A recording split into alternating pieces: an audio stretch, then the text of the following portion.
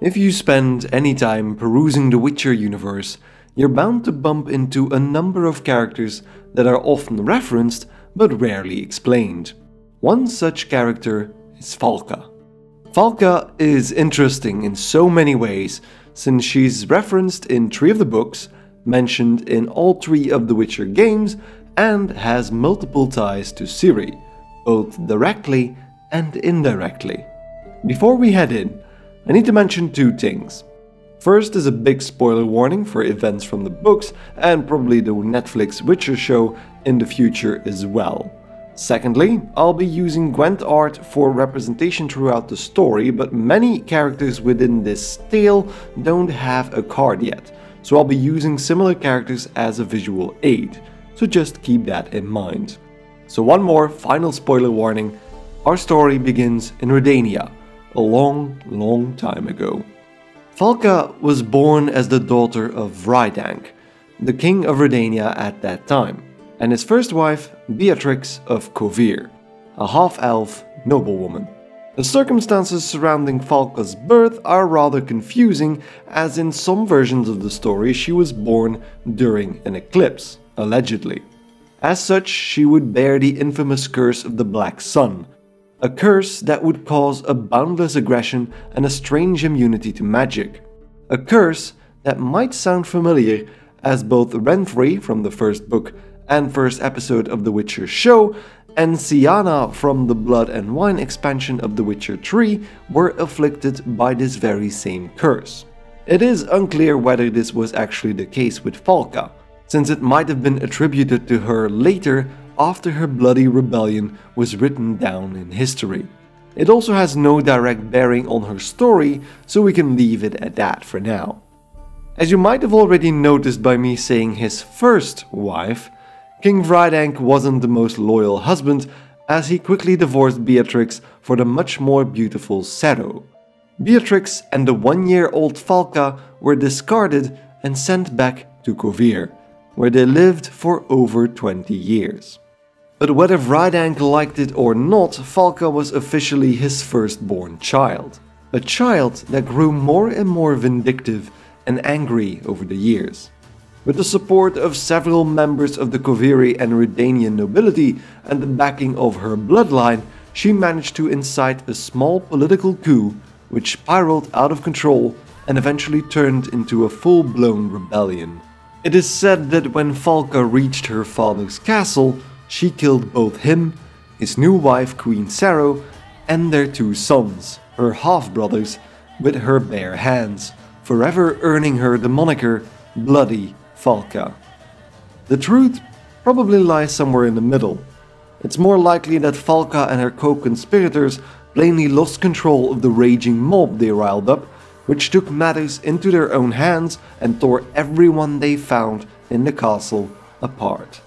Regardless, the Redanian military managed to stifle the rebellion not long after these events, and both Falka and her conspiring noblemen and women were tried and sentenced to die. Falka got special treatment and was burned at the stake. The legend got even more juicy since she allegedly didn't bat an eye when the fire got going, but instead started raving like a madwoman, cursing everyone present. She uttered that one day everyone would suffer by the hands of a child from her bloodline.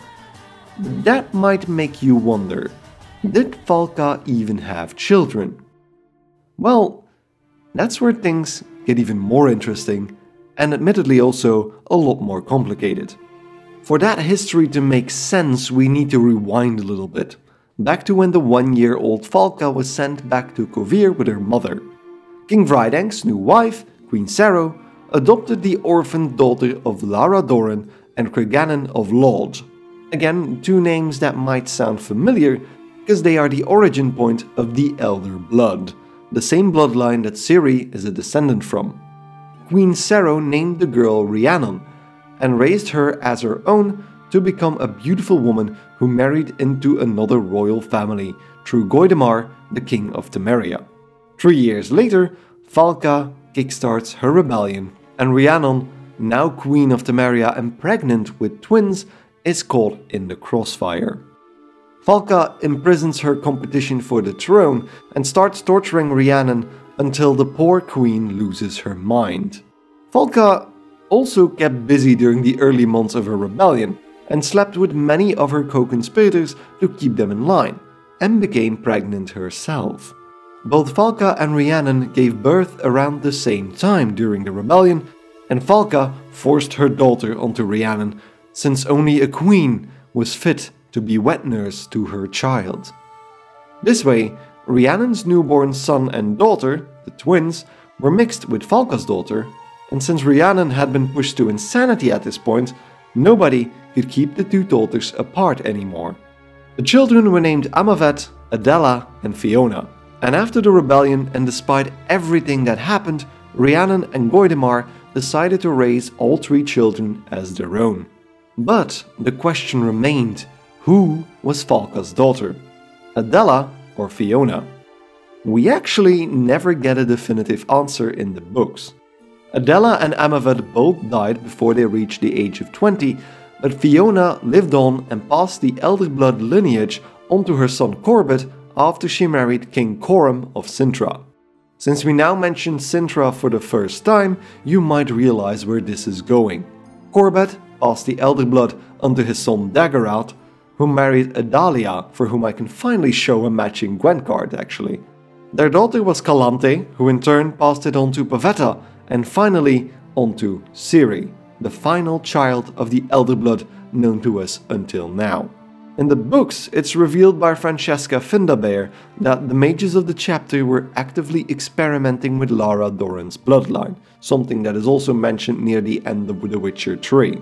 They discovered that of the three mystery Falka children, only Fiona and Amavet bore the Elder Blood gene making it clear cut that Adela must have been Falka's daughter. Right? Well, not necessarily.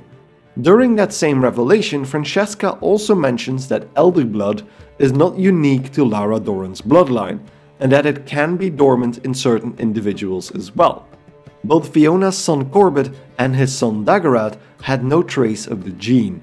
Falka, on the other hand, could have very well had the gene as well, and passed it on to Fiona, while Adela had the undetectable dormant gene from Rhiannon. What reinforces this is the fact that one of the continent's best investigators, Jacob Fenn, was hired by Geralt at some point to find out more about Ciri's lineage. He found documented proof that Fiona, not Adela, was the daughter of Falka, which directly contradicts Francesca's story but wouldn't be out of the question considering what we know of the Elder Blood gene. Fenn was sadly burned alive by Shiro before he could definitively confirm his proof, making it forever unclear whether Ciri's great great great grandmother was Falka or Rhiannon. A real mystery for the ages. As a final side note, in the books, Ciri had several visions about Falka and even temporarily took her name while she was riding with a bandit gang called the Rats, which seems to indicate that Falka was indeed the mother of Fiona, and therefore directly related to Ciri, or at least very important to Ciri in some way. Again, we have no definitive proof, but all signs seem to point in the direction of Falka, which would make Ciri the possible harbinger of Falka's curse. Will we ever get an evil Ciri storyline? Probably not, but imagine what havoc she could wreak with her powers. The world would never be the same again. On the other hand, Ciri's full name contains both the names Fiona and Rhiannon, so it's just really confusing and unclear. You could argue in favor of both options, we probably will never know the truth for sure. And that's the story of Falka's rebellion and her bloodline. I hope you enjoyed the episode since we made this for a very special occasion. We at Team Elderblood are preparing a big tournament with Falka's rebellion as its main team. More details are coming really really soon, so uh, you can check that out later on. Let me know what you think in the comment section down below about both this video, Falka, and of course the tournament that we're working on. Check me out on Twitter if you want to talk under at TroVNut, that's T-R-O-V-N-U-T, and if you enjoyed this video, why not give it a like? Any support is really appreciated. Thanks enormously for watching, and I hope to see you guys in the next episode of Gwent Storytime. Goodbye.